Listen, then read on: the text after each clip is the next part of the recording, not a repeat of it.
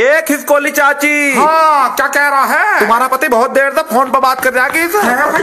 सुनिए सही बताओ ये